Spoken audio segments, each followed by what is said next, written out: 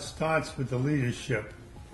I think it's important for the coaches and the, you know, the people around to educate the young kids that they have a role in this world and they should be given back right from the beginning.